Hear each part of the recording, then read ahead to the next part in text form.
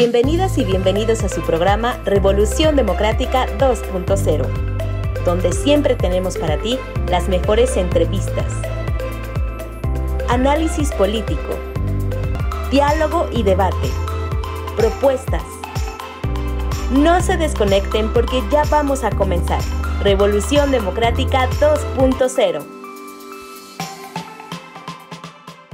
¿Cómo están? Bienvenidas y bienvenidos a una transmisión más de Revolución Democrática 2.0. Muchísimas gracias por conectarse con nosotras y nosotros en este importante proyecto del Partido de la Revolución Democrática, donde como saben, programa con programa, bueno, pues analizamos la realidad nacional, el contexto, la coyuntura y los temas que son relevantes para todas y todos los ciudadanos. Y bueno, pues a través de estos diálogos, de estos debates que de pronto se generan, ¿por qué no encontremos posibles soluciones? El día de hoy, bueno, pues ya estamos poco a poco mezclando esta, esta forma, don Gonzalo, de híbrido, de como en las clases, uno es presencial, uno es todavía en línea, porque bueno, hay que seguirnos cuidando, pero poco a poco estamos ya teniendo la fortuna de tenerlos presencialmente aquí en el set y hoy vamos a platicar de un tema muy importante. Tenemos un panel extraordinario que yo se los voy a presentar. Vamos a hablar sobre la clase trabajadora de México y para ello, bueno, pues primeramente tengo aquí en el set, tenemos que saludarlo porque bueno, me da muchísimo gusto volverle a ver en estos programas a el señor Gonzalo Mejía Ramírez. Él es, quiero que lo sepan, trabajador jubilado, dirigente, obrero y político. Ha sido miembro del Partido Comunista Mexicano, el Partido Socialista Unificado de México, así como el Partido Mexicano Socialista y actualmente es militante del Partido de la Revolución Democrática. Don Gonzalo, qué gusto volverlo a tener en estos programas. ¿Cómo está? Buenas tardes, estamos a la orden. Muchas gracias. sea necesario. Muchas gracias. Buenas tardes a nuestros otros dos camaradas. Así es, pues como ya nos lo mencionó don Gonzalo, también tenemos otro panel virtual conformado por dos personas extraordinarias que les voy a presentar a continuación. Me da muchísimo gusto saludar a Adriana Urrea Torres. Ella es periodista, reportera especializada en el sector financiero y actualmente es la secretaria general del Sindicato Único de Trabajadores de Notimex, agencia de noticias del Estado mexicano, el cual lleva más de dos años en huelga. Adriana, ¿cómo estás? Qué gusto verte. Hola, me da mucho gusto saludarlos. muchas gracias por este espacio eh, de poder hablar sobre eh, algo tan importante que es la clase trabajadora y lo que estamos enfrentando hoy en día. Así es, muchísimas gracias a ti por también el tiempo que nos regalan para estos programas y por supuesto también saludar a Arturo Bravo Guadarrama, él es arquitecto, académico y sindicalista, además de haber sido secretario eh, del Interior del Sindicato de Trabajadores al Servicio de Poderes del Estado de Querétaro. También ha sido diputado federal por el PRD, eh, partido en el que además ha ocupado diversos cargos y actualmente es asesor de la Asociación Sindical Generando Movimiento en el Complejo Silao de la General Motors. ¿Cómo estás, Arturo? Me da muchísimo gusto saludar Gracias por estar aquí. Gaby, al contrario, gracias a ustedes y, un gusto poder compartir en esta ocasión con, con Gonzalo y por supuesto con, con Adriana, que sin duda es uno de los grandes ejemplos de este nuevo modelo sindicalista en México. Así es, muchísimas gracias a los tres por estar en este programa tan importante, un tema que, bueno, pues en el mes en el que estamos, Día del Trabajo, acaba de pasar, bueno, pues después de dos años de pandemia, de haber estado inactivos, don Gonzalo, eh, se vieron, se volvieron a manifestar los sindicatos, pero hubo, algunos ausentes, yo tengo aquí el registro de la CTM, la CROC, y en general los integrantes del Congreso del Trabajo, eh, pues fueron los ausentes. Yo quisiera preguntarles, eh, como inicio para este programa, ¿cómo vieron esto, este primero de mayo. ¿Qué le parece, don Gonzalo, si comenzamos con Adriana? Bien, pues realmente para nosotros los de izquierda de toda la vida. Vamos a comenzar con usted, pues entonces. Los de izquierda de toda la vida. Eh, concebimos que después de tantos años de lucha, las condiciones de la clase trabajadora han cambiado. Y ahora somos nosotros los que ocupamos el espacio del charrismo sindical por primera vez, porque todavía los años anteriores se expresaban, pero hoy decidieron no participar. ¿Pero por qué razón? Porque se ha perdido verdaderamente el control. En grandes eh, empresas, sobre todo, han sido liberadas de alguna manera, aunque por desgracia la situación por la que se pelea en los sindicatos, pues es la parte económica es la parte más débil, hay un desempleo galopante terrible, no tan solo por el COVID, más bien es por la crisis estructural del sistema capitalista que ya no da. nos han cambiado por robots, nos han cambiado por computadoras. ¿Para qué quieren al ser humano? Si los robots y las computadoras les producen más dividendos, más ganancia, y entonces se han achicado los sindicatos desde los años 80 para acá.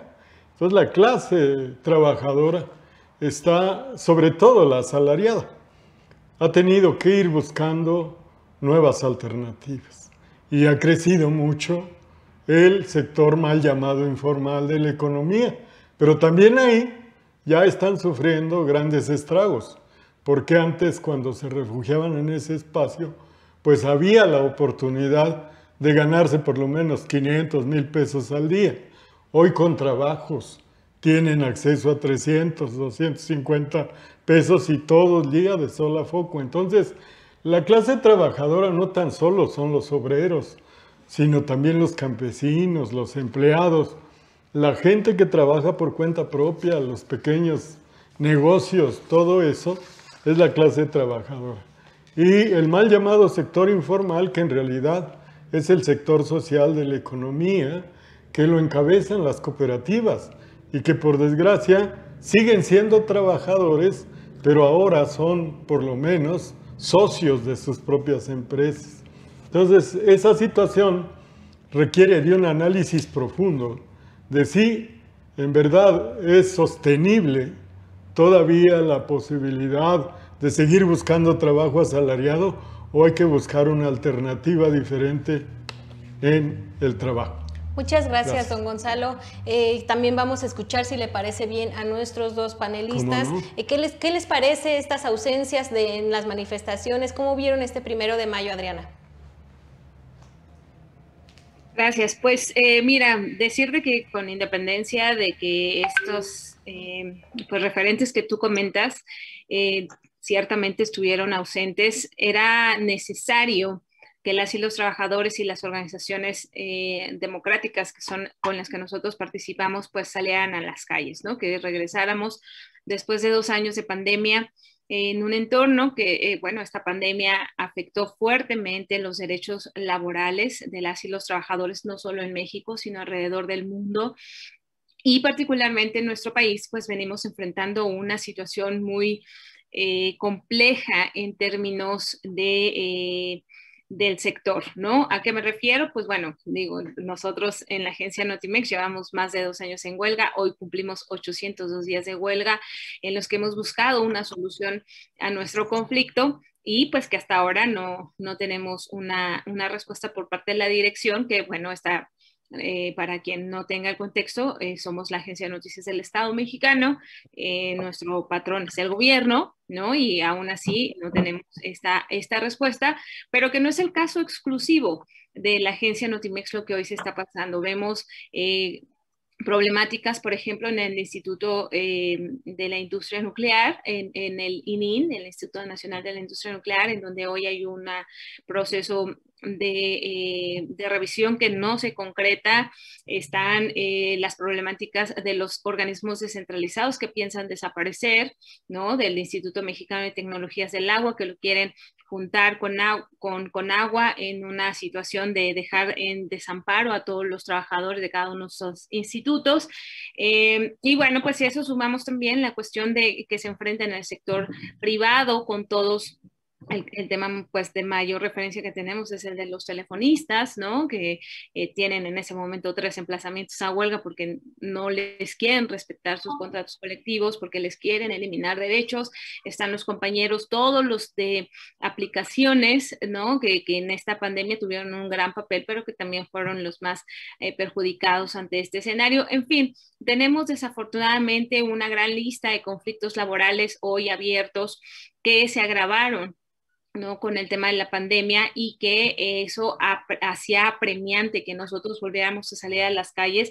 Si bien el primero de, mayo pues es una fecha de, conmemoración ¿no? de los mártires de Chicago, de, reivindicar eh, luchas laborales pues anteriores, creo que también era hoy una necesidad para las y los trabajadores de México eh, retomar las calles, que es algo que, pues, eh, es necesario para hacer, para demandar, ¿no? solucionan nuestras demandas, justas demandas, valga la redundancia. era necesario lo hicimos, eh, las, las, organizaciones que así lo consideramos, estos referentes que mencionas no lo hicieron así. Eh, claramente pues cada uno responde a ciertos intereses, nosotros respondemos, los que salimos a las calles estamos respondiendo por los intereses de las y los trabajadores, no solo de la ciudad, sino también del campo, como ya decía el compañero Gonzalo, ¿no? Y también por muchos de los movimientos sociales que hoy están vigentes y que eh, a quien surgen una solución, como es el caso de los 43 eh, normalistas desaparecidos, en fin, muchísimos eh, problemas sociales y laborales se conjuntaron el día de ayer en esta manifestación que muy rápidamente eh, en medios eh, que es parte de esta estrategia de querer minimizar la acción de la clase trabajadora. Se hablaba de que no se había llenado eh, la plancha del Zócalo, lo cual fue falso. En todo momento este, eh, los, los referentes llegaban y ahí hubo en algún momento en el que tuvimos que desalojar los que estaban ahí para que llegaran los otros de la gente que realmente se pues llegó a, este, a esta convocatoria, ¿no? y bueno, pues creo que fue un buen retorno de la clase trabajadora a las calles después de este periodo de ausencia de pandemias y bueno, pues de aquí en adelante eh, será esta forma en la que podemos seguir exigiendo eh, solución a, como decía, a las justas demandas de cada uno de quienes nos reunimos el día de ayer en esta manifestación. Muchas gracias, Adriana. Me gustaría, por supuesto, también escuchar, eh, Arturo, ¿tú cómo viste este primero de mayo? Sí, Gaby, gracias. Mira, primero decir que este primero de mayo yo lo vi como una etapa más en este proceso de aprendizaje. Y yo creo que como tal hay que hacer esa, esa evaluación.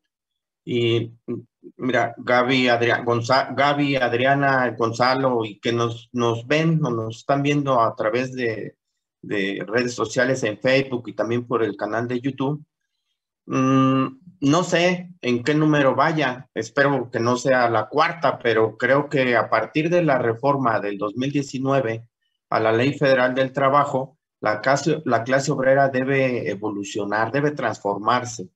Pues la reforma plasma, sin duda alguna, muchos derechos que dicho sea de paso, se venían este, buscando y peleando por ellos desde hace muchos años, ¿no? Este, pero para poder ejercerlos hay que luchar, es decir, no es suficiente con que estén en la ley. Y las marchas, pues es una herramienta de lucha.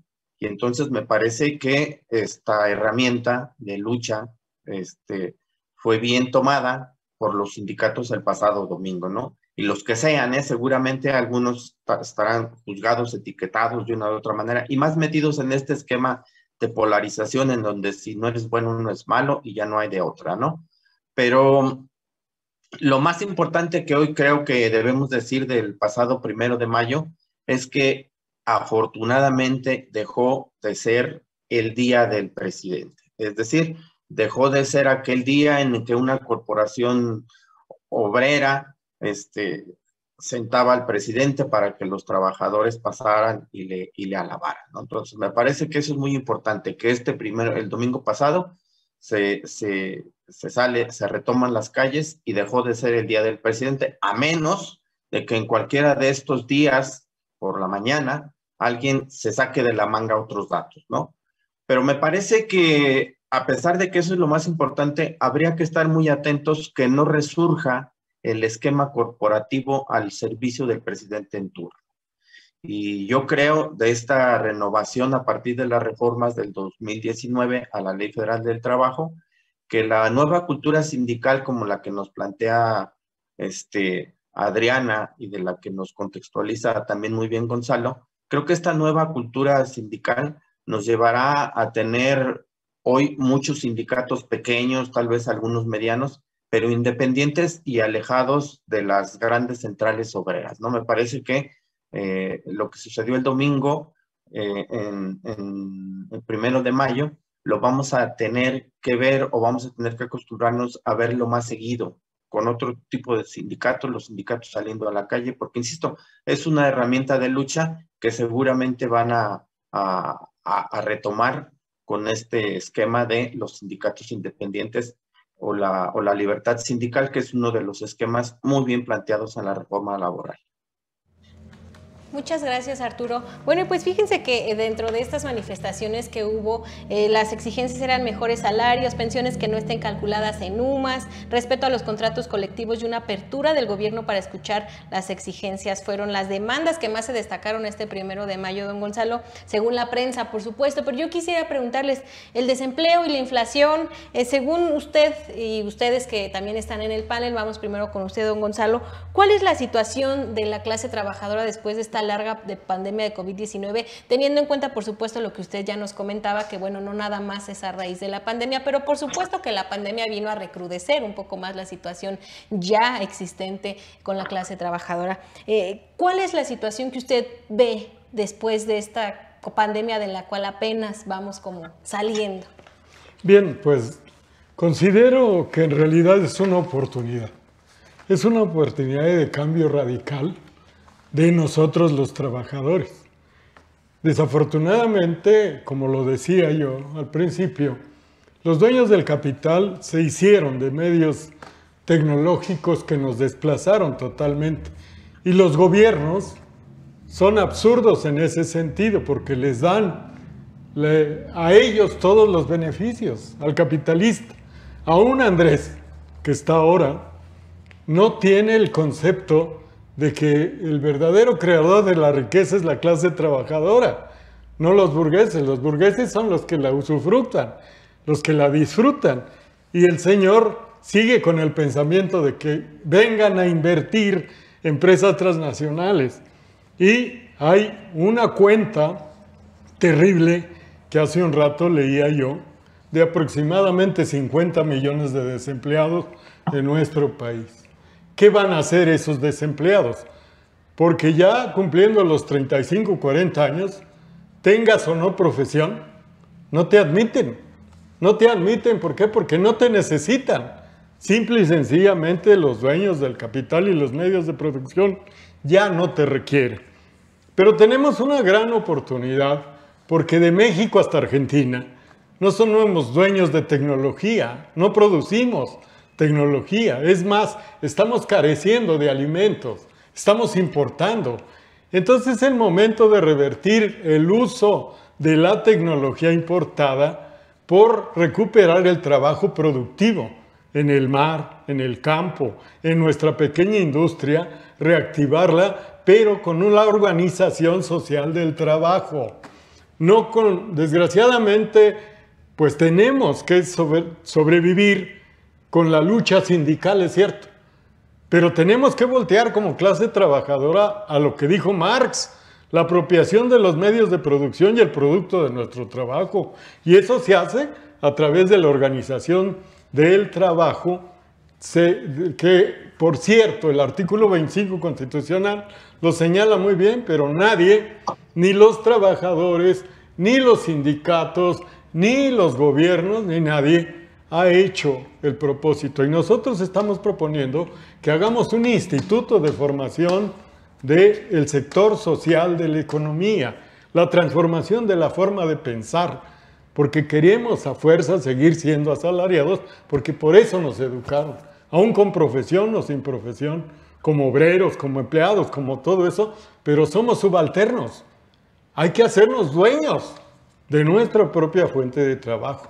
Y eso es lo que sigue, esa es la oportunidad de aquí hasta Argentina y ser verdaderamente eh, interdependientes con la América Latina y el Caribe, desarrollarnos juntos, crear nuestra propia tecnología. Y hay una gran oportunidad porque se acaba el Tratado de Bucareli, que era el galimatías que usaban los anteriores presidentes para no lanzarse a producir maquinaria hacer ni una aguja mexicana. Entonces, en ese sentido, yo veo una oportunidad para la clase trabajadora, sobre todo para los jóvenes. Muy bien, sobre todo para los jóvenes. Muy bien, eh, don Gonzalo, muchas gracias. Adriana, ¿tú cómo ves? ¿Cuál es la situación después de la pandemia? ¿En qué situación quedó la clase trabajadora? Que digo, ya sabemos que se ha comentado, eh, no era nuevo, pero vino a recrudecer más la situación, ¿o tú qué opinas? Sí, por supuesto. Eh, lo inmediatamente que vimos con la pandemia fue un reporte en eh, los beneficios o los derechos que ya teníamos las y los trabajadores. ¿Por qué? Porque, pues, mm, al, llevarse el trabajo a casa, eh, muchos patrones de inicio eh, mm, pusieron condiciones, ¿no? Se van a trabajar a casa, pero pues por el tema de la pandemia eh, no les podemos pagar lo mismo porque además van a estar en casa, no van a tener que trasladarse, ¿no? Por ejemplo, un, por poner un ejemplo de esta, de esta situación. Eh, hubo en muchos casos que se recortaron salarios. ¿Por qué? Pues porque las empresas se veían afectadas en sus ingresos y entonces aprovecharon esto para decir necesitamos recortar impuestos, perdón, salarios y eh, pues la gente en la gran mayoría de los casos aceptó estas condiciones, ¿no? Además de que eh, se, eh, se, presentó una situación, había, y se presentó sobre todo, por ejemplo, con muchos de los profesores que ahora tenían que dar clases desde casa, pero muchos ni siquiera tenían los equipos y tuvieron que eh, gastar en ellos, o el servicio de Internet lo tienes que pagar de tu bolsillo para poder seguir trabajando cuando en una oficina pues es un, una obligación del patrón, ¿no? Brindarte las herramientas para el trabajo y en este caso, pues eh, se, libraron de esta eh, carga, ¿no? Y se la pasaron al trabajador. Ese fue, creo que, uno de los eh, temas principales, que parte de estas cargas de trabajo que tiene o que debería de tener la empresa se trasladaron al trabajador por este entorno. Hubo también muchas situaciones por el tema específico de la salud, ¿no? Esta pandemia dejó demostrado que claramente no hay una estrategia del, em, del sector eh, laboral de los patrones para enfrentar una crisis de este tipo, tanto en términos de, de seguridad social como de em, de trabajo, de organización. Eh, o también, se, eh, por ejemplo, yo hablaba eh, hace un momento de los compañeros de trabajadores por aplicación. En esta pandemia, claramente la gente no sale y se empiezan a hacer un gran pedido de compras o de servicios a través de, de aplicaciones, ¿no? De teléfono, de servicios de, de, de taxi, ¿no? Por aplicación o pides comida por aplicación. ¿Y qué pasó con los compañeros? Tuvieron una mayor carga de trabajo, pero menores eh, salarios, menores condiciones. Eh, a muchos nunca se les dio una protección de seguridad social a pesar del riesgo de que, implicaba mantenerse en las calles, ¿no?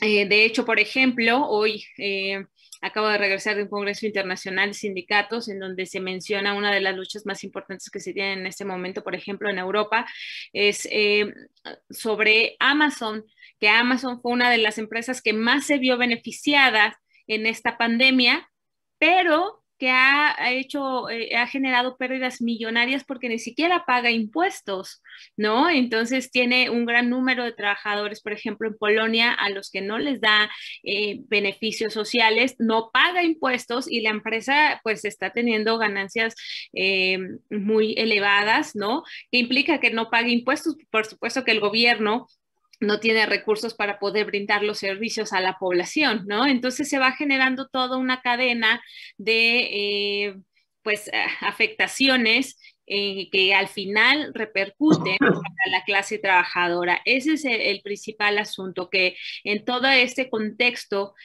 quienes están pagando o quienes estamos pagando el costo de una pandemia, de la manera como se haya tratado en nuestro país, somos los, las y los trabajadores.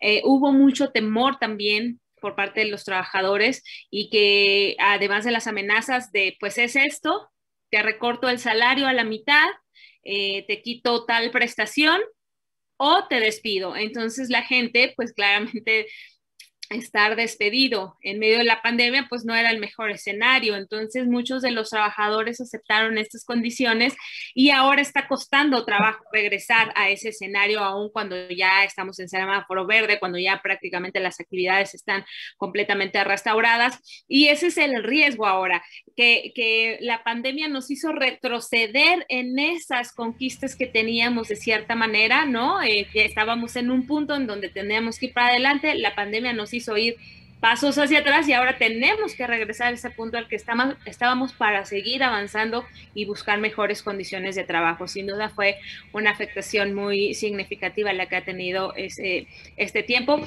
y por eso era importante que saliéramos ya a las calles este primero de mayo.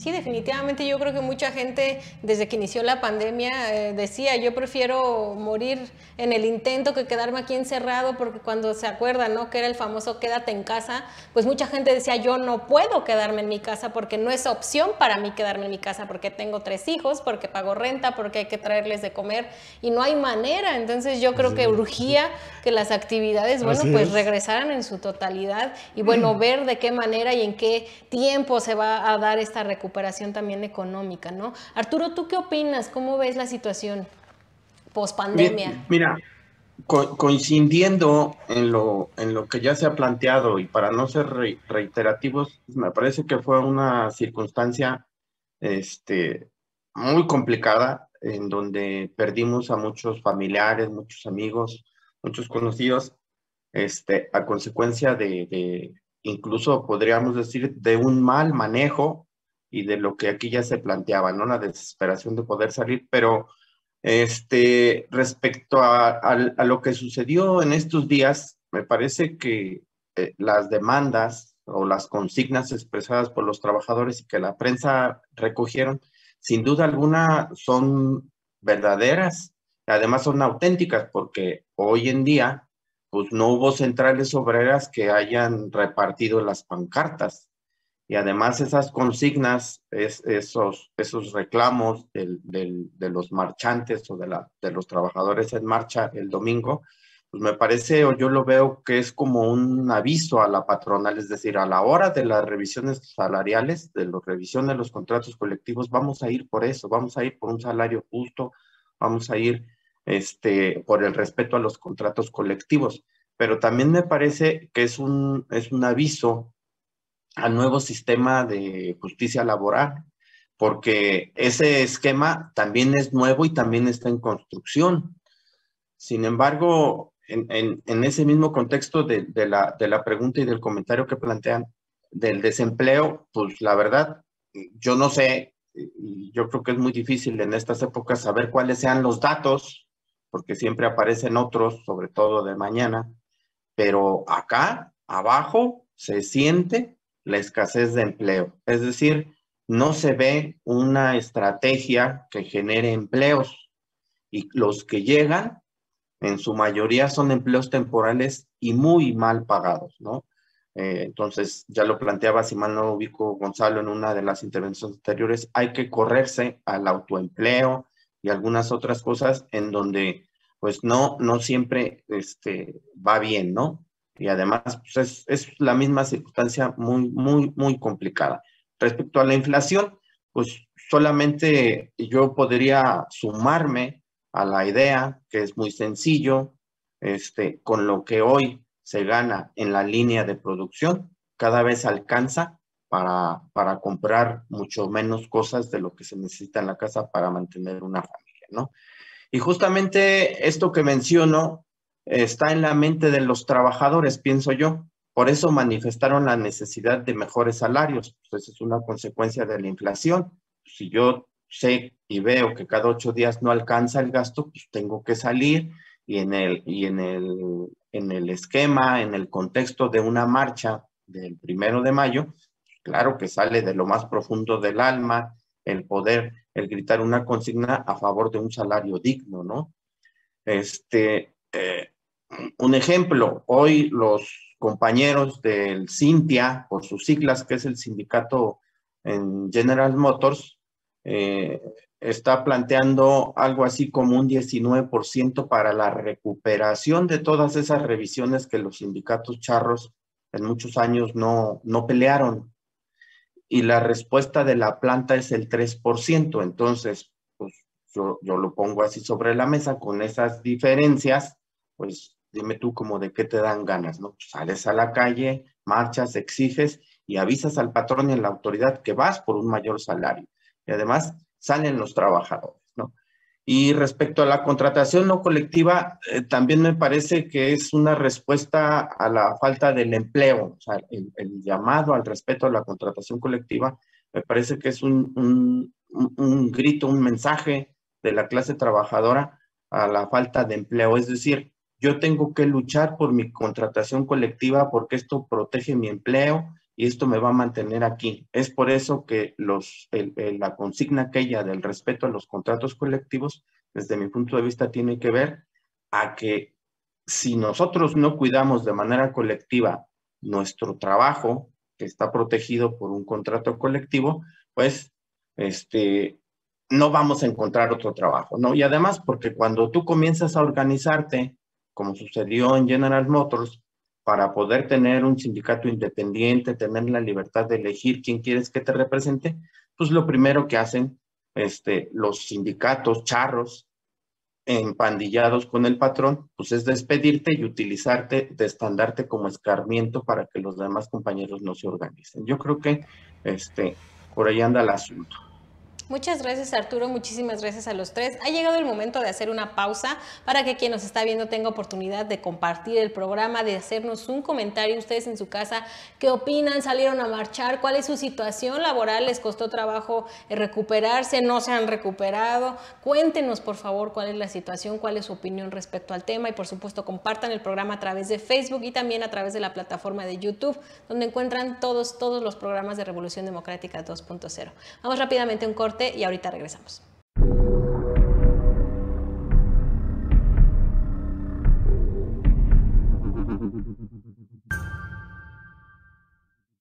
Bueno, pues como ven, ya estamos aquí con nuestro paciente que, híjole, cada vez, no hombre, yo creo que este paciente lo hicieron recio, don Gonzalo, porque tiene ganas de vivir, le ha dado de todo a este paciente y aquí sigue, mírenlo, aquí sigue. Yo en mi diagnóstico y yo les mandé llamar a ustedes, doctora Adriana, doctor Arturo y doctor Gonzalo, porque ya no puedo más. Yo por más que le veo, no hallo, yo me pierdo, yo a este paciente le veo salarios insuficientes por un lado, tiene mucha insuficiencia de, esta parte, tiene abuso de poder patronal, yo no sé cómo entrarle en esas arterias tan delicadas, don Gonzalo, así que necesito la ayuda de ustedes.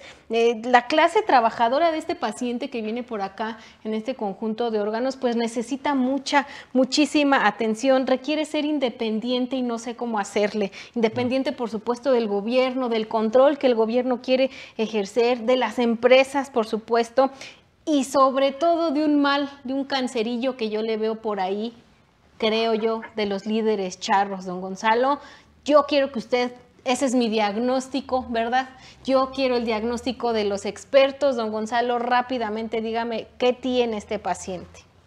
Bueno, este paciente ha sido sometido por toda la vida por el trabajo asalariado, subrogado, y jamás los patrones, los dueños del capital, le van a pagar lo justo, porque el capitalismo está acentuado y progresivamente, y como lo descubrió y lo dijo Marx, en verdad la enfermedad es destruir el sistema capitalista para que este trabajador por sí mismo se libere, organizándose de otra manera, organizándose socialmente con sus conocimientos y a través de eso tanto estirpar a los líderes charros que han sido controlados por los gobiernos y por el propio dueño, los dueños del capital.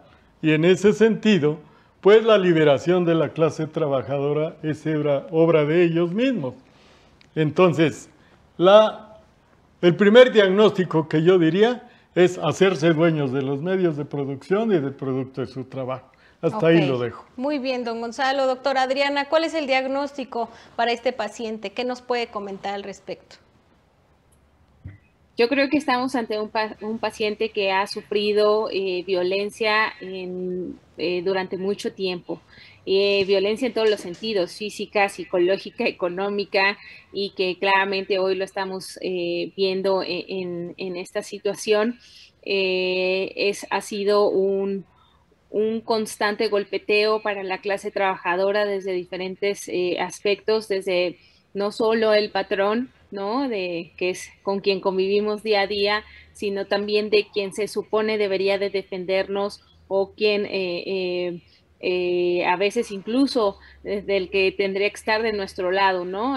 nuestros propios compañeros nos llegan a, llegamos a caer en ese golpeteo, es una lucha constante y que bueno, claramente se refleja en estas, en los problemas que vemos.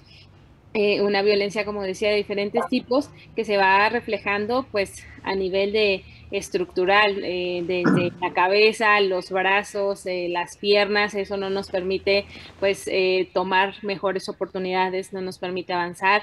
Y bueno, pues es, un diagnóstico pues importante después de, que, una, de, que un, de que un ente es golpeado continuamente, pues necesita un, un tratamiento importante. Muy bien, doctora, pues nos compartirá más adelante el tratamiento que pueda usted darnos, pero por mientras, doctor Arturo, ¿cuál es su diagnóstico?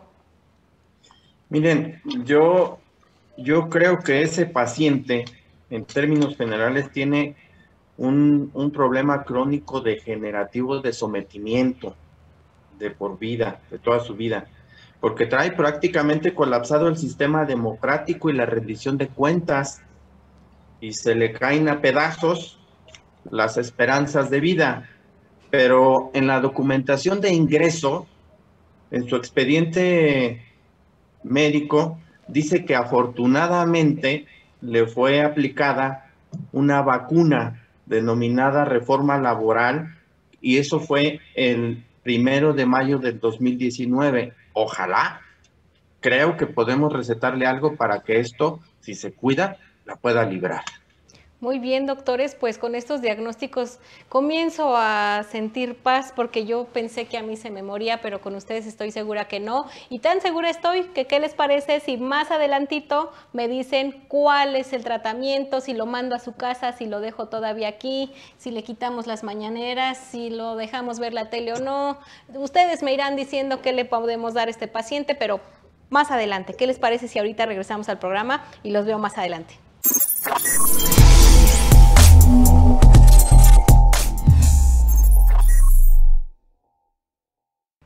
Bien, pues ya estamos de regreso en este segundo segmento de tu programa Revolución Democrática 2.0. El día de hoy estamos platicando sobre la clase trabajadora, don Gonzalo. Ya estamos en este segundo segmento. Y bueno, pues como yo les comentaba al principio, Adriana, además de ser periodista, es secretaria general del Sindicato Único de Trabajadores de Notimex, el cual pues lleva ya eh, más de dos años en huelga, Adriana. Así que yo quisiera que tú, eh, que estás, por supuesto, eh, que eres la que nos puede dar la información de primera mano, ¿cuáles son las causas de la huelga? ¿Por qué ya llevan tanto tiempo? Eh, no, no hay eh, respuesta, ya hablaron con el presidente, ¿cuál es su posición? Coméntanos, por favor. Claro que sí, justo hoy estamos cumpliendo 802 días de huelga en la Agencia de Noticias del Estado Mexicano para pues quienes nos ven y no tengan la el referencia de lo que es Notimex. Notimex es una agencia, llegó a ser la agencia de noticias más grande de México, de América Latina y la segunda más grande de habla hispana. Es un, un símil, el medio de comunicación público de mayor alcance que tenía nuestro país y es pues el símil de la agencia F o eh, eh, AFP, ¿no? Que son eh, internacionales y bueno, pues Notimex generaba información que difundía a medios de comunicación era sin duda un medio de referencia para medios de comunicación, además de, del alcance que tenía eh, en la población en general. Bueno, nosotros estallamos huelga el 21 de febrero del año 2020. Jurídicamente fue por violaciones a nuestro contrato colectivo de trabajo y falta de revisión contractual y salarial. Digamos que eso es lo que eh, jurídicamente ampara nuestra huelga. Sin embargo, el fondo de esto fue que eh, nosotros sufrimos un abuso de poder eh, por parte de la dirección, encabezada por, por la directora San Juana Martínez. Y en realidad ellos lo que buscaron fue eliminar nuestro sindicato y eliminar nuestro contrato colectivo de trabajo bajo la bandera de la corrupción. Ellos dijeron que iban a llegar a limpiar de corrupción a la agencia, cuando en realidad lo que pretendían hacer era simplemente desconocer nuestro contrato colectivo, así lo hicieron, dejaron de respetar eh, condiciones eh, de trabajo, o, eh, días, horarios de trabajo, días de descanso, se dejaron de pagar prestaciones económicas, lo que implicó una disminución del ingreso de los trabajadores de un 40%. Se argumentó que esto era porque el sindicato era corrupto, porque teníamos un contrato con muchísimos beneficios y que era abusivo y excesivo. Digo, yo desconozco en algún lugar del mundo donde las condiciones de trabajo sean excesivas y abusivas. Eh, creo que tendríamos que siempre buscar por mejores condiciones laborales y bueno, en nuestro país el salario perdón, en la agencia Notimex el salario promedio de los trabajadores es de 12 mil pesos mensuales eh, y que claramente se compensaban con eh, prestaciones económicas incluidas en nuestro contrato, que como digo, se dejaron de pagar de forma arbitraria, sin consultar a los trabajadores, cuando nosotros preguntábamos qué pasaba y que, por qué se nos dejaba de pagar esta, estas prestaciones de contrato dijeron que era por austeridad republicana y que eh, pues era la orden ahora que había del gobierno. Nosotros como periodistas preguntamos a la Secretaría de Hacienda si era real que se había acortado el presupuesto para Notimex, eh, para, para las prestaciones eh, contractuales y en la Secretaría de Hacienda nos hicieron saber que no, que el presupuesto se estaba otorgando completo a Notimex y el presupuesto contemplaba ya el contrato colectivo de trabajo. Además, hubo un despido masivo de trabajadores sin que hubiera las compensaciones debidas, es decir, eh, se despedía a las personas, pero en el mejor de los casos se les ofrecía una liquidación de 40, 50% de lo que establece la ley hubimos muchos trabajadores que nos despidieron por empezar la defensa de nuestros derechos. A mí se me pidió por haber sido electa secretaria general del sindicato y poder rescatar eh, el mismo. Y bueno, pues a muchos ni siquiera nos, nos hicieron un ofrecimiento de liquidación porque simplemente no cabía, ¿no? Entonces, bueno, eso nos llevó, eh, pero en realidad fue el abuso, el maltrato que hubo hacia las y los trabajadores. Recordemos que se despidió, o sea, el, caso más grave, se despidió una mujer embarazada con ocho meses de gestación, calificado de alto riesgo, a las compañeras que la defendieron, las acosaron y después las despidieron. Y bueno, eh, en, menos de un año se había corrido al 80% de la plantilla laboral con este objetivo de eliminar eh, nuestras condiciones de trabajo, nuestro contrato y eliminar nuestro sindicato y bueno, pues eso nos llevó al estallamiento de huelga, que como digo ya hoy lleva 802 días, es la huelga de periodistas más larga que se ha registrado en la historia de nuestro país y de América Latina y entiendo que en muchas partes del mundo no se tiene un movimiento eh, con estas características, porque además de estos 802 días, la mayor parte la hemos pasado en pandemia, con lo que esto ha implicado tanto para nosotros como huelguistas, como para la gente que se nos ha ido por esta situación, una situación que hemos estado sin ingresos y enfrentando, bueno, todo esto además de una campaña muy fuerte en contra de nosotros.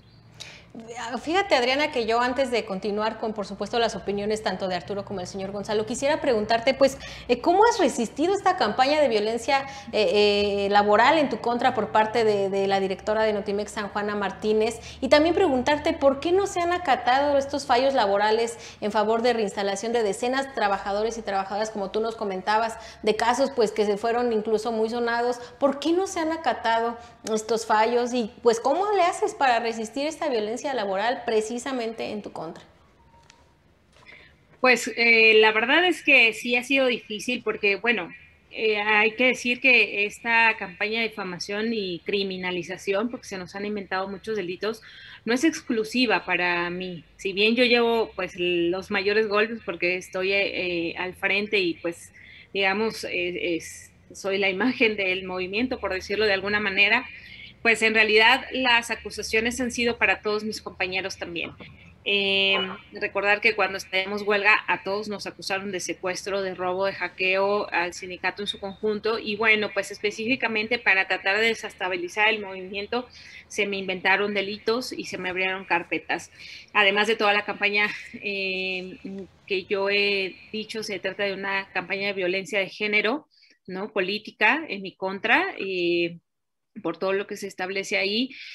¿Y cómo he hecho para superarla? La verdad es que eh, sí reconozco que ha sido difícil, sobre todo cuando te acusan de algo que tú no cometiste y que tienes al Estado, a las instituciones del gobierno federal, eh, eh, pues señalándote y abriéndote procesos, es sí realmente un golpe significativo decir, de verdad me van, a, me van a acusar sin haber cometido ningún delito, es muy fuerte porque demuestra la vulnerabilidad en la que estamos inmersos los ciudadanos, ¿no? Eh, y, bueno, pues esto tampoco es una situación exclusiva mía, esto pasa mucho con defensores de derechos humanos, con defensores del campo, en fin, eh, es muy triste ver esta situación, pero pues lo que me ha mantenido es saber que esto es una persecución política en mi contra por encabezar una huelga que es legítima y que es justa.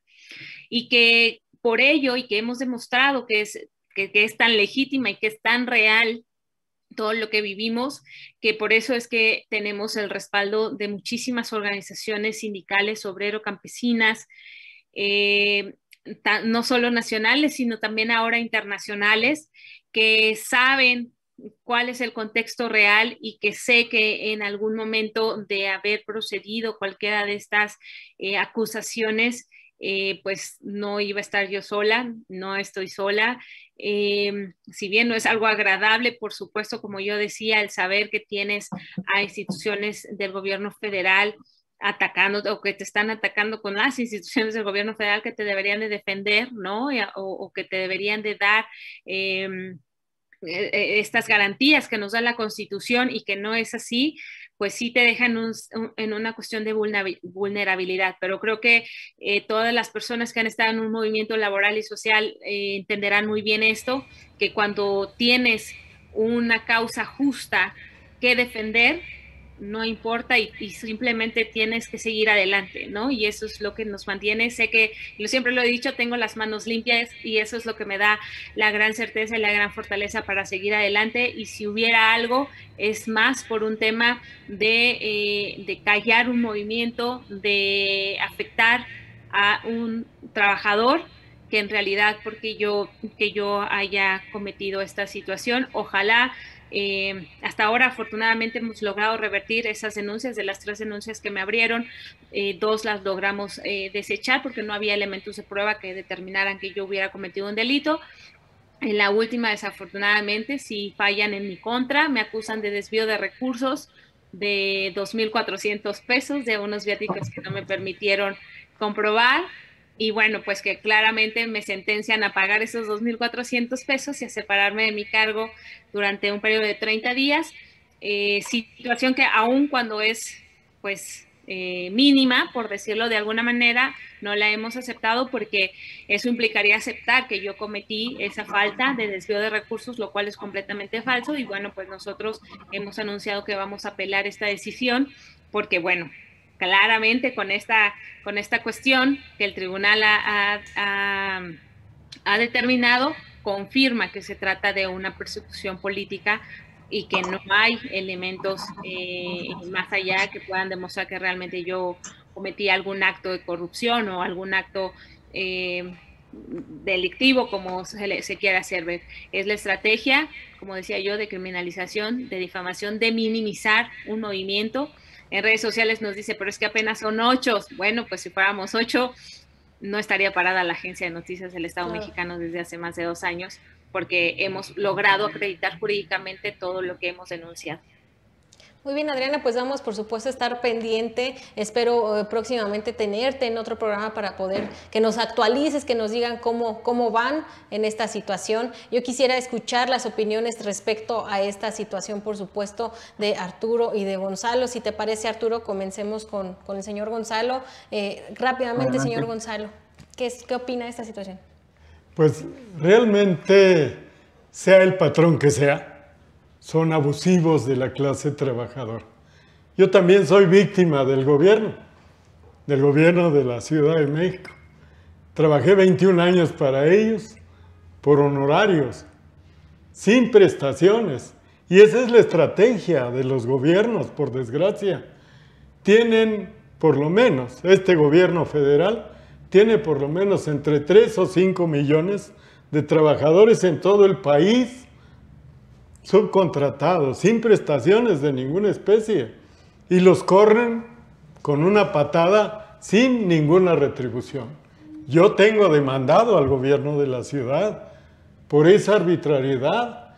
Trabajé 21 años para ellos y ni siquiera fueron dignos de decirme, bueno, ahí te va una liquidación o qué pides o qué. Estoy pidiendo mi reinstalación, llevo tres años y como las autoridades están controladas por ellos, pues sabes que ahí está frenado todo. He tenido tres audiencias o cuatro en tres años. Cuando yo demandé en el apartado B, en el apartado A, máximo duré ocho meses aún contra una cláusula de exclusión. ¿Qué quiere decir? Que el poder se impone en todos los derechos laborales esto que lo que le pasa a nuestra compañera Adriana no es privativo, es una consigna del poder contra el poder, del demostrar en realidad que el poder sindical y de los trabajadores puede ser sometido por el poder gubernamental y por sus estructuras.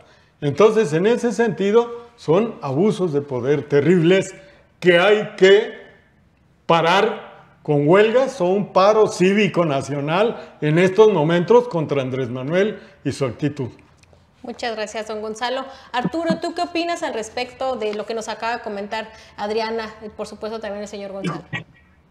Mira, yo, yo había leído algo, porque los compañeros que venimos construyendo el trabajo de Libertad Sindical en General Motors tienen ahí este, algún vínculo. Los compañeros este, de Generando Movimiento, hoy Cintia, y habíamos estado ahí acompañando y seguimiento. Sin embargo, como lo dije en un principio, un gusto poder compartir este, este, esta plática, esta charla con, con Adriana.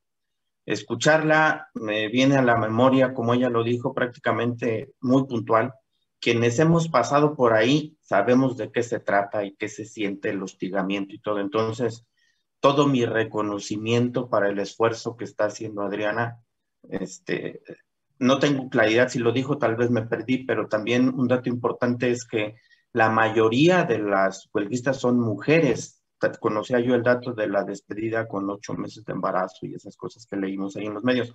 Pero me parece que justamente esta exposición que hizo Adriana hay que darla a conocer, porque sin embargo, porque eso es muy motivante para los compañeros que hoy tuvieron duda y que se quedaron a la parte de atrás del desfile o que no se atrevieron a ir a marchar, que no entraron a las filas de los contingentes a desinhibirse. O sea, todo esto como las compañeras, los compañeros, yo también, eh, cuando a mí me despidieron, también con una estrategia de desmantelar la dirección sindical, también de un sindicato de trabajadores de gobierno, yo duré seis años en juicio, ¿no? Y igual, yo tuve incluso que salir del Estado para poder generar un ingreso, porque estaba al igual que los, que como, como se dice en la iniciativa privada boletina, y entonces este, pues, te, te, te, dificultan el camino. Sin embargo, este, felicitar a Adriana por ese esfuerzo, este, tender los brazos, en, este momento eh, el, apoyo personal que yo pudiera este, sumar con todo gusto. Me parece que es un asunto clave la de la difusión. Creo también que no tengo que decirlo, son periodistas, pero también creo que no está de más. Y creo que este, pudiera yo en este momento hablar por los compañeros de la Casa Obrera del Bajío que también están metidos en el respaldo de todo este tipo de luchas para podernos vincularnos a lo que se necesite para este, para este gran esfuerzo que es un ejemplo para la clase trabajadora y sobre todo para las compañeras mujeres. Muchas gracias Arturo y me quedo contigo para también preguntarte acerca de lo que nos comentabas en el segmento anterior sobre este sindicato independiente eh, formado por trabajadores de General Motors eh, que recientemente se, arrebató este contrato colectivo eh, al sindicato afiliado a la CTM. Yo quisiera que nos digas qué opinas al respecto y preguntarte, ¿consideras que este nuevo sistema de justicia laboral va a dar un impulso a la libertad y a la democracia sindical? ¿Tú qué nos puedes decir? Híjole, respecto a lo que pasó en, General Motors y con lo que nos acaba de platicar Adriana, pues no sé, podría quedarme hasta sin palabras. Mira, se me vuelve a enchinar la piel. Nomás de recordar cada uno de esos, de esas etapas de dos años y medio de, de trabajo, desde generando movimientos, de que nació la inquietud, hasta su evolución de ese movimiento construirlo en sindicato, el Sindicato Nacional Independiente de Trabajadoras y Trabajadores de la Industria Automotriz, el pensar estratégicamente y encontrar a una compañera, así como Adriana, la compañera Alejandra, para que fuera la dirigente, echar para adelante, enfrentar a, todo el, aparato de la, de la CTM, este, vinculados con el patrón y con, y con el esquema laboral, híjole, es, es muy satisfactorio, muy satisfactorio, ¿no? Este, a tal que, bueno, pues seguimos en, la, en la lucha respecto al, a lo que se plantea de este nuevo sistema de justicia laboral. Este, yo, lo poco que hemos conocido de este sistema laboral, yo no lo veo tan decidido de, de darle seguimiento puntual al dedillo, decimos por ahí, a lo que establece la reglamentación de generar o impulsar la libertad sindical. Porque más bien yo lo que veo es que en el esquema son tantos años de intereses generados de muchas personas hoy multimillonarias que se beneficiaron con los contratos de protección y no van a querer perder sus beneficios y sin duda que tampoco se quedarán cruzados de brazos. Entonces, yo hoy veo seguramente prácticamente la mayoría de esos que se beneficiaron con, con estos contratos de protección y que además esos contratos de protección fungieron con, con el contubernio tanto del patrón como de la autoridad laboral para evitar los beneficios de los trabajadores, pues seguramente todos esos ilustres personajes ya tienen tendidas sus redes para evitar la, justicia laboral y seguramente detener tomas de nota, negar registros de candidatos, de, sindicatos y hasta llegaron acá, por ejemplo, en la, en la planta Mazda, un sindicato vinculado a la CTM, simuló un proceso de, de, validación de contrato colectivo. Entonces, todas esas cosas me parece que eh, impedirán o, generarán ahí, este, estarán a la expectativa para convertir este nuevo esquema de justicia laboral en el mismo sistema corrupto por el que luchamos tantos años, ¿no? Entonces, yo creo que ya tienen su red, entonces hay que estar muy atentos y apretar con estas herramientas de lucha que ya hemos mencionado aquí para que no sea fácilmente corrompible este nuevo sistema de justicia laboral. Así es, siempre, como dicen, siempre al pie del cañón, don Gonzalo, y al frente, cuidando y exigiendo, porque si se deja uno, decía mi abuelita, pues si te dejas, como te explico, ¿verdad? Te van a llevar al baile.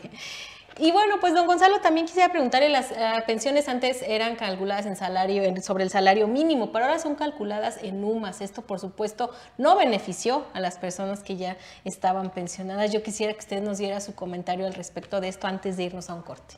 Bueno, Realmente en cuestión del salario mínimo es insuficiente, aunque Andrés presume y sus corifeos presumen de que fue un aumento mayor de 20% cuando los aumentos y los topes salariales, desde que empezaron en los años 80, los topes salariales llegaban a ser a 12%, a 13%.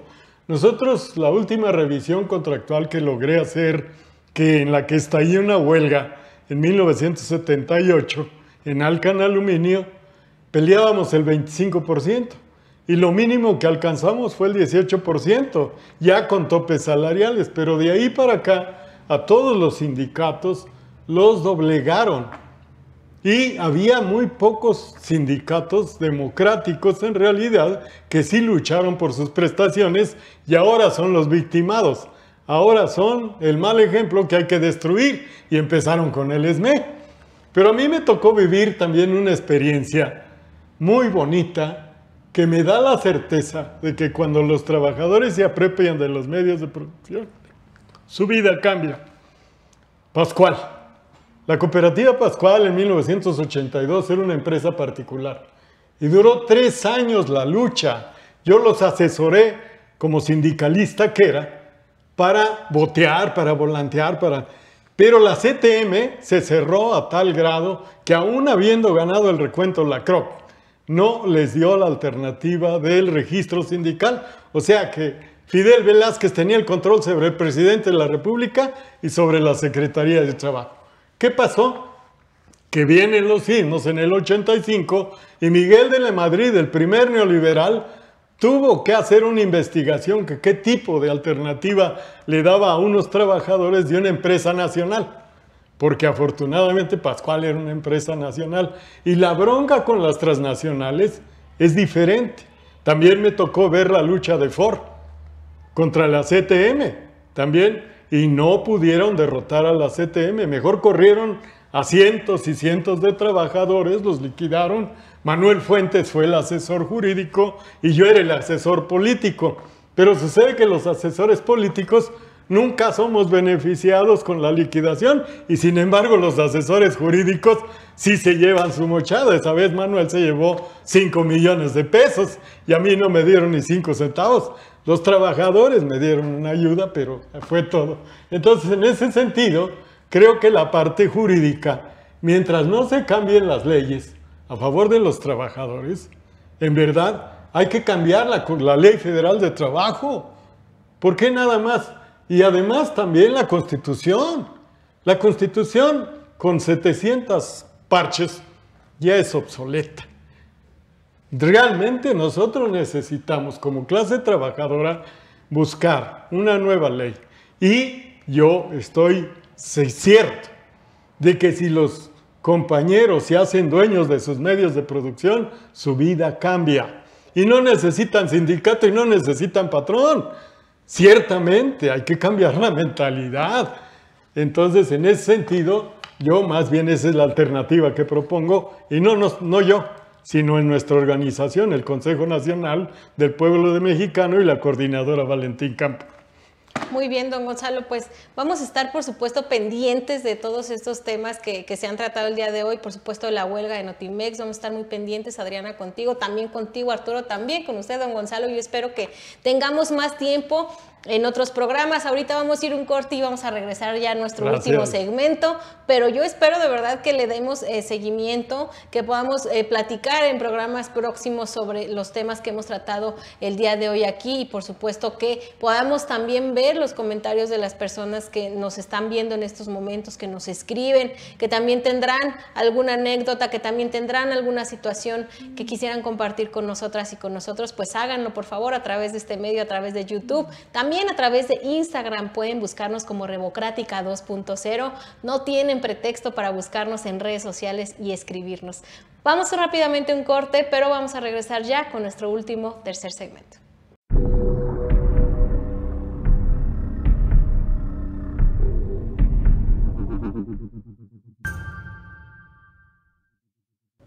Bien, pues ya estamos otra vez con este paciente, ya con este diagnóstico que se ha hecho, con los diagnósticos que también los doctores allá en casa nos han enviado, que pues coinciden, ¿eh? coinciden mucho con los diagnósticos, así yo creo que no estamos tan despegados de la realidad, eh, doctor Gonzalo, así que dígame por favor, para que la enfermera tome nota al pie de la letra de las indicaciones médicas para este paciente. Lo mando a su casa, lo dejo todavía aquí en terapia intensiva, está todavía para dejarlo aquí o qué le hacemos? Bueno, este paciente ha sido golpeado y sigue siendo golpeado. Mientras sea dependiente del trabajo mal pagado, asalariado, va a seguir su enfermedad crónica, crónica históricamente. ¿Por qué razón? porque exactamente parte de lo que decía el doctor Arturo, esas mañaneras son enajenantes. ¿Cómo es posible que diario el señor que dirige este país esté recetando fórmulas y él tiene otros datos? Siempre que se le reclama algo tiene otros datos. Y hoy con la clase trabajadora se ha ensañado, se ha ensañado. Somos el, el único cuerpo al que no atiende el señor presidente. Atiende a los ricos, atiende a los burgueses, atiende a todo mundo. Pero le hemos solicitado que desarrolle el sector social de la economía desde el mar, el campo, la industria, la ciencia y la tecnología. Y no. ¿Qué requiere el paciente desde mi punto de vista como experto en estas cuestiones? Un cambio de vida. Un cambio de vida por la apropiación de sus medios de producción organizados socialmente y, como le hicieron los de Pascual, hacerse dueños de su empresa. De los petroleros, los electricistas, es lo que, yo propongo, que se liberen. Claro que sí, don Gonzalo, muchas gracias. Doctora Adriana, además de estas recomendaciones, ¿cuáles son las suyas para anotarlas y ver si sacamos adelante este paciente? Sí, pues yo creo que necesita un tratamiento integral holístico en todos los sentidos. Hay que este, alinearle los chakras. Hay que alinearle los chakras. ¿Por qué? Porque necesita, eh, ese paciente necesita un trabajo interno muy importante. ¿Por qué? Porque justo estamos hablando de una violencia, de un sometimiento, de una incluso depresión. Hablamos de que este paciente puede estar deprimido y eso nos, nos cuesta trabajo pues eh, levantarnos, ¿no? Entonces necesitamos al interior hacer un trabajo propio, mucha ayuda psicológica también de, estar reforzando por qué tenemos que avanzar, de por qué no tenemos que permitir esta clase de abuso y de, sometimiento, ¿no? Eh, eh, necesitamos también ayuda que se exigir que, se refuercen los, los mecanismos de protección que tenemos, porque de nada nos va a servir que nosotros mismos hagamos este trabajo interno de fortalecimiento, que además tendríamos que tener una rehabilitación súper importante para poder reactivar lo que decía, las manos, los, los pies, ¿no? Y seguir avanzando. Pero necesitamos que, se fortalezcan los sistemas que nos ayuden, ¿no? Eh, pongámoslo en términos eh, llanos, pues eh, los, los, policías que se tendrían que estar encargando de cuidarnos y de que no se permitan estos abusos, pues necesitamos que haya este una, un Estado de Derecho que se cumpla, que las instituciones realmente nos defiendan, que las instituciones realmente este, crean en la voz del, del paciente, de la, de la clase trabajadora, porque de otra manera, pues el abusador va a seguir abusando, pero tan, tan famoso este dicho que el, el valiente eh, el cobarde vive hasta que el valiente quiere. El valiente dura mientras el cobarde quiere. El valiente dura hasta que el cobarde quiere y bueno, pues eso es lo que necesitamos, pero necesitamos apoyo de instituciones, de leyes, de, de eh, del Estado de Derecho para que este cuerpo que pueda eh, rehabilitarse de la mejor manera pueda salir adelante. Así es, muchas gracias, doctora Adriana. Hemos de anotar todas, espero muy bien, se anotó todo, las indicaciones las seguiremos al pie de la letra. Doctor Arturo, finalmente coméntenos eh, qué le hacemos a este paciente, qué le damos, qué le quitamos. Mire, el, el paciente se va a poner bien, no se preocupe. Hay que, lo que yo creo que hay que hacer, hay que, le vamos a recetar revisiones salariales compuestas. Hay unas que son blancas, esas blancas no. Las que son compuestas, revisiones salariales compuestas, eso es lo que le vamos a dar. Hay que ir a la Secretaría del Trabajo y Previsión Social o en su defecto tenemos que ir al Centro Federal de Conciliación y Registro Laboral. Ahí va a conseguir las revisiones salariales, insisto, compuestas, de las blancas o charras, no. Revisiones salariales compuestas. ¿Cómo las va a tomar? Un año la revisión salarial contractual y al siguiente año la revisión la, la, revisión salarial. ¿Sí? Tenemos a este paciente para que nos dure muchos años, tenemos que sacarlo una vez que se reponga en dos o tres meses, tenemos que sacarlo a marchar todos los primeros de mayo. Y también es importantísimo que si tienen conocimiento de alguna otra lucha sindical, tiene que acudir a solidarizarse. Con eso va a estar más que listo para lo que venga. Perfecto, pues me han devuelto el alma al cuerpo porque yo sentía que este paciente otra vez ya no la libraba, ya andaba chupando faros, ya le andaba yo trayendo hasta el padrecito, porque pues ya le hemos dado de todo, ya ven que nos recomendaron de darle estampitas, también le pusimos estampitas, pero pues no, evidentemente no, no, funcionan. Le dimos abrazos, las enfermeras me lo besuquearon, ni abrazos, ni besos, ni estampitas no le funcionaron, así que yo necesitaba la opinión. respiración a boca Nada le funcionó, don Gonzalo, yo necesitaba la opinión de los expertos, así que doctora Adriana, doctor Arturo doctor Gonzalo, muchas gracias por ayudarme y gracias a las doctores y doctoras que nos escriben y nos ven, gracias también por sus recetas. ¿Qué les parece si vamos ya a la parte final de nuestro programa a escuchar las conclusiones de nuestra y nuestros invitados?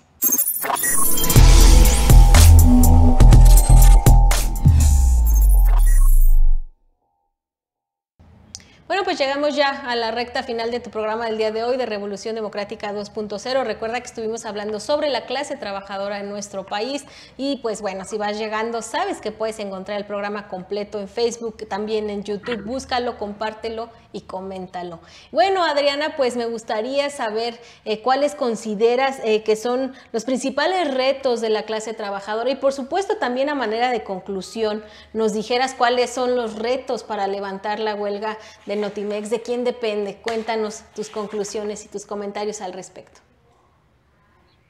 Pues eh, respondo la última pregunta, ¿de quién depende resolver la huelga de Notimex? Pues hoy eh, depende de la voluntad política de esta administración, de la voluntad de la dirección de Notimex. Muchas veces nos ha dicho si nosotros estamos pidiendo la renuncia de la directora para poder resolver el conflicto. Me gustaría aclarar que no, en ningún momento ha sido nuestra eh, petición la salida de la directora. ¿Por qué? Porque, eh, y, quiero dejarlo muy claro porque justo se ha entendido o se ha malentendido o se ha querido llevar por ese camino que nosotros estamos eh, siendo intransigentes haciendo esta solicitud. No es nuestra petición.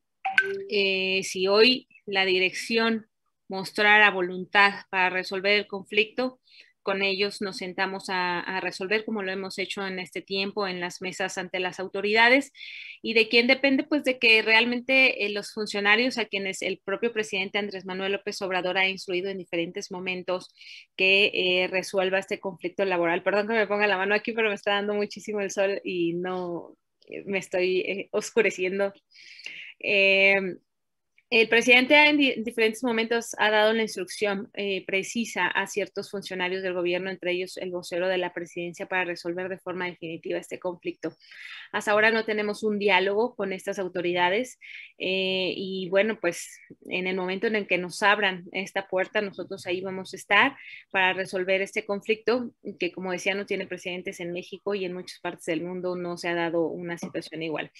Eh, retos para la clase trabajadora, sin duda es una reactivación. Eh, necesitamos generar mucha conciencia entre las y los trabajadores, eh, sobre todo los más jóvenes, de la importancia de mantener una defensa de nuestros derechos laborales eh, y humanos dentro de las fuentes de trabajo, porque hay muchos jóvenes que el tema sindical de por sí, eh, y ese es otro reto que yo siempre he considerado, los sindicatos tenemos un reto muy grande en transformar, en cambiar la imagen que se tiene de estas organizaciones eh, que, que, en principio deben de tener eh, como objetivo principal la defensa del trabajador y que desafortunadamente en muchos sindicatos de nuestro país pues esta, esta situación no se da y tienen que pasar procesos muy largos o mucho tiempo para que un sindicato pueda regresar realmente a los trabajadores, como es el caso nuestro, que nosotros rescatamos nuestro sindicato y lo regresamos a los trabajadores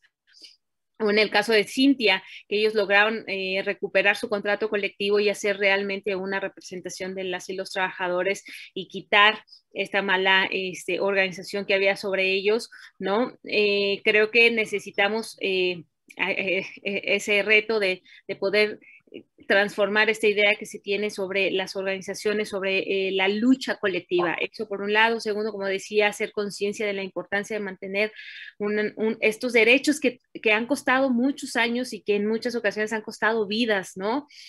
Tener estos derechos actuales que están plasmados en la Ley Federal del Trabajo, en la Constitución, pero que hoy a las nuevas generaciones les hace, se les hace cualquier cosa, ¿no? Y decir, este, bueno, no me dan vacaciones, no importa, o no me dan, este, eh, una compensación, no importa, ¿no? Y claramente son luchas que han costado mucho trabajo. Entonces, hacer esta conciencia de lo importante que es defender eh, el, trabajo, eh, también necesitamos dejar de ser individualistas a veces. Y claramente muchos de los conflictos que hoy están vigentes, y lo puedo decir por nosotros en nuestra huelga, es porque la gente dice, es que yo me voy a quedar sin trabajo, es que yo tengo estos compromisos. Claro, pero todos tenemos esos compromisos y eso ha llevado a mucha gente a esquirolear la huelga o que simplemente dejen de, apoyar eh, causas, hablando en general, ¿no? Entonces, el, el hacer una conciencia de la importancia de la lucha colectiva,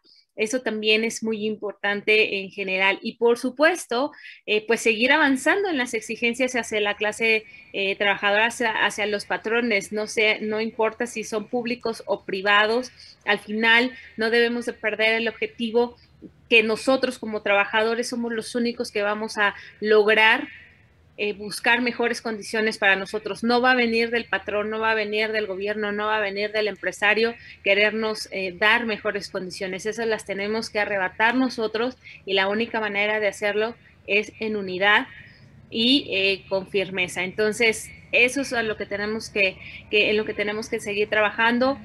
Algo que, que, me tiene, que me queda muy claro es que no debemos permitir que el trabajador se venda ya sea desde una organización o él mismo, ¿no? Este, a veces hay que, hay que rescatarlos de, de, las malas decisiones, ¿no? O refiriéndonos a los sindicatos que, que, que son charros o que eh, anteponen los intereses personales o de la patronal sobre los trabajadores, algo que no debemos de permitir nunca, porque eso va en contra de nosotros mismos, o sea, cualquier paso eh, que, demos en ese sentido va en contra de nosotros mismos, pero también el no hacer nada va en contra de nosotros mismos. Entonces, debemos de tener muy claro esto y avanzar en unidad eh, en busca siempre de mejores condiciones para todas las y los trabajadores de este país.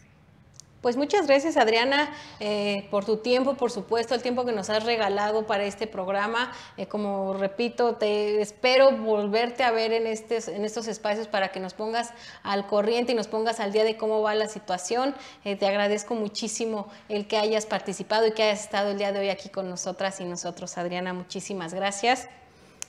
Y bueno, pues también a manera de conclusión, Arturo, eh, quisiera que me dijeras cuáles son los retos de la clase trabajadora, pero también de los partidos políticos ante las situaciones laborales, eh, que me dijeras eh, cuál debe ser su lucha y cómo deben defender los partidos a la clase trabajadora de nuestro país. Bueno, primero que nada, sin duda, con, con 802 días en huelga, la claridad que tiene Adriana es es, contundente. Cualquier cosa que pudiera yo decir sería reiterativo, pero me parece que pudiera yo englobar un poquito en este esquema de los retos para abonarle un poquito a lo que ella dice con la preparación, la conciencia de clase, la transformación. Me parece que el secreto o, la, la, dinámica podría ser englobar todas esas visiones que ella plantea en, eh, en, un esquema de organización colectiva, ¿no? Lo que ella llamaba este, para revertir lo que ella llamaba eh, el individualismo, ¿no? Y me parece que el principal reto a partir de lo que plantea la reforma del 2019 es luchar y luchar por la democracia y la libertad sindical hasta que a todos se nos haga costumbre.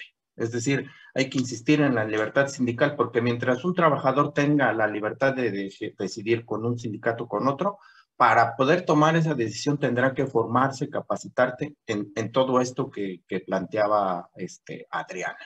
Y para poder ejercer la democracia sindical, pues eh, los compañeros trabajadores tendrán que hacerse de información, politizarse sindicalmente para poder tomar una decisión asertiva. Creo que por ahí podía quedar de los retos. Respecto de los partidos políticos, yo creo que de manera responsable los partidos políticos deberíamos este, primero que nada, promover eh, e impulsar el desarrollo y fortalecimiento de esta nueva cultura sindical, ¿no? pero también tendríamos que ser respetuosos de tanto de sus procesos internos y de su formación y todo, porque no debía, eso es lo que creo que deberíamos hacer. Y lo que no se debería de hacer es intentar tomar a las organizaciones sindicales como parte de la, de la, de la decisión colectiva del trabajo, porque ese es, ese es un, un esquema al que, eh, al que, del cual venimos saliendo y nos costó mucho trabajo combatir. Y lo decía yo en mi intervención anterior, estar al pendiente, le afirmabas tú, y al pie del cañón para evitar que corporativamente los sindicatos o un más líder sindical jale este, por componendas o por algún otro tipo de compromisos que no sean laborales este, a, a las urnas o a las bolsas de los partidos políticos, ¿no?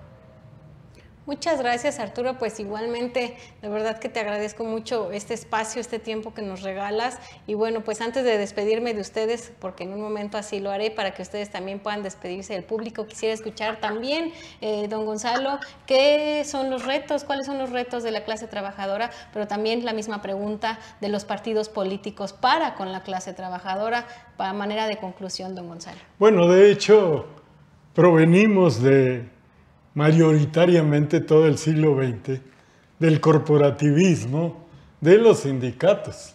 Los sindicatos fueron cooptados por el PRI toda la vida.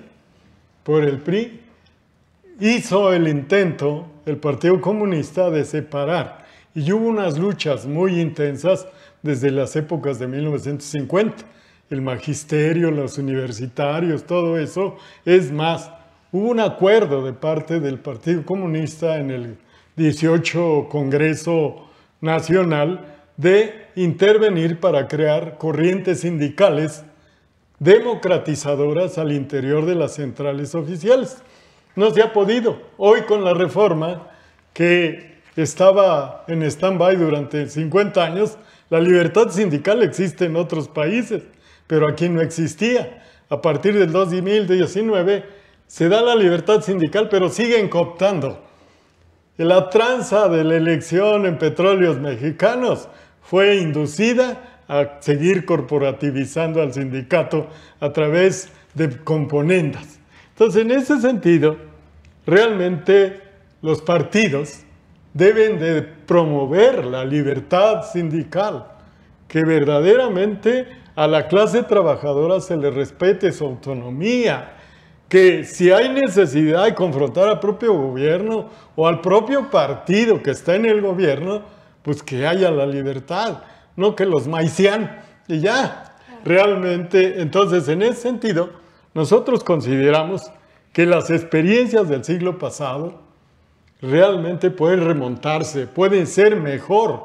Y los dirigentes sindicales tener la fortaleza y la seguridad de su base social porque se alejan, igual que los diputados y los senadores, se alejan de su base social las mayorías por componendas. Esperemos que hoy nuestros nuevos dirigentes sean como Adriana, en verdad, que está dando una lucha, abrazo partido, por la democracia sindical y por imponer ese derecho.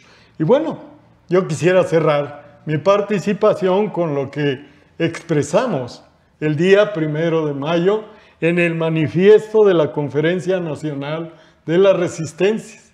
Aquí tengo una copia y dice el primero de mayo, unitario y combativo y proletario. Y el punto dos, para ser escueto, emplazamos al gobierno de Andrés Manuel López Obrador a establecer de manera inmediata y sin condiciones un proceso de diálogo de carácter resolutivo con las distintas fuerzas sindicales, sociales y populares. Este es el punto 2 y voy a dejar copias y a mis compañeros que hoy están de interlocutores, les haré llegar una copia de todo este manifiesto que fue el cierre de nuestra actividad del día de ayer en ese gran evento que a nivel nacional se multiplicó. Quisiéramos que nuestros compañeros que están dentro de los sindicatos corporativos se liberen lo más pronto posible y todos los desempleados que se organicen realmente la organización para crear el sector social de la economía, creando industrias propias de propiedad social para resarcir su poder adquisitivo. Y como lo dije al principio, de aquí hasta Argentina hay la oportunidad. ¿Por qué razón? Porque necesitamos comer, necesitamos fabricar nuestra comida y crear una nueva cultura económica, política, social, ambiental y de todo tipo y sobre todo de la cuestión de la conciencia de la clase trabajadora.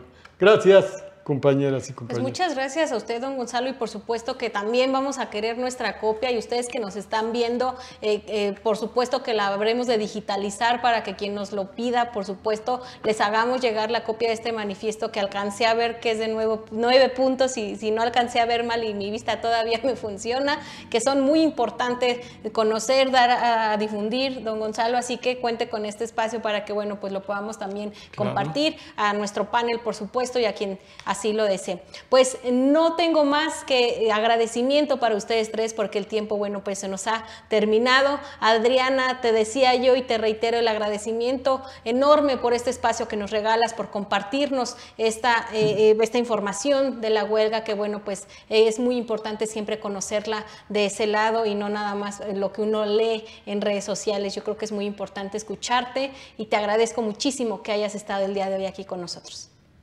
Al contrario, muchísimas gracias por este espacio, justo por, permitirnos eh, desmenuzar todo lo que ha pasado a lo largo de la huelga en todo este tiempo y hacer una invitación a todas las personas que nos ven a que nos sigan en redes sociales eh, del Sud Notimex. Eh, ahí es donde estamos dando puntualmente todo lo que pasa con el movimiento. Mis redes sociales también como Adriana Urrea en Twitter o en TikTok este, para que sepan también que, que eh, cómo se va desarrollando y que puedan tener una versión distinta, porque desafortunadamente hay algunos medios como La Jornada que se han encargado de, difundir la mala información o la información falsa de la dirección. Entonces, eh, por eso, de nuevo, reitero, gracias por este espacio.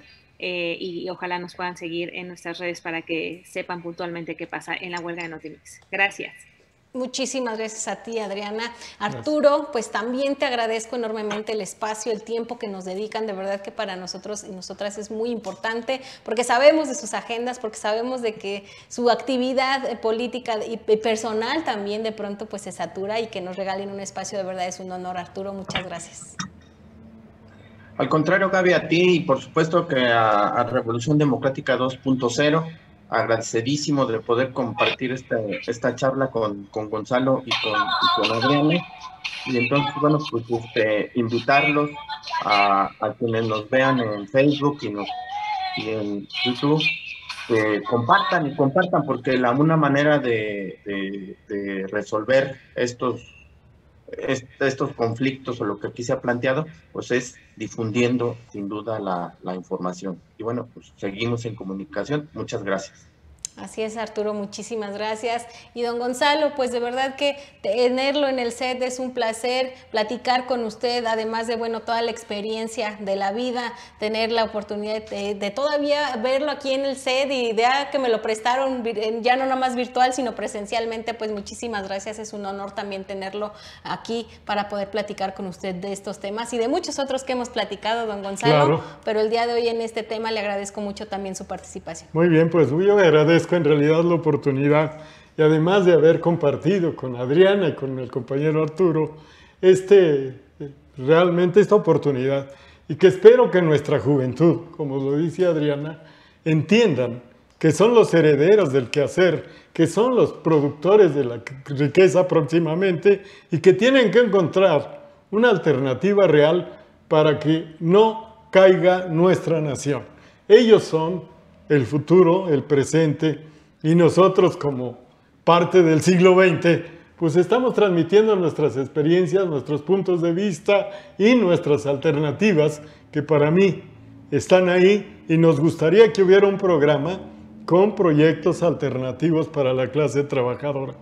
Gracias por haberme invitado, yo soy de casa realmente. Y me encanta y agradezco mucho a Adriana y al camarada Arturo haber estado en este programa y ojalá podamos invitar a más. Por supuesto que sí. Muchísimas gracias, don Gonzalo. Gracias a los tres. Por supuesto, gracias a todas y todos los que nos ven, nos, eh, nos comparten y nos comentan aquí, también en YouTube. Gracias por compartir y comentar este programa, este proyecto del Partido de la Revolución Democrática que hace para ustedes. Gracias, de verdad. Gracias al equipo de producción. ¿Qué les parece si nos vemos en el próximo programa de Revolución Democrática 2.0?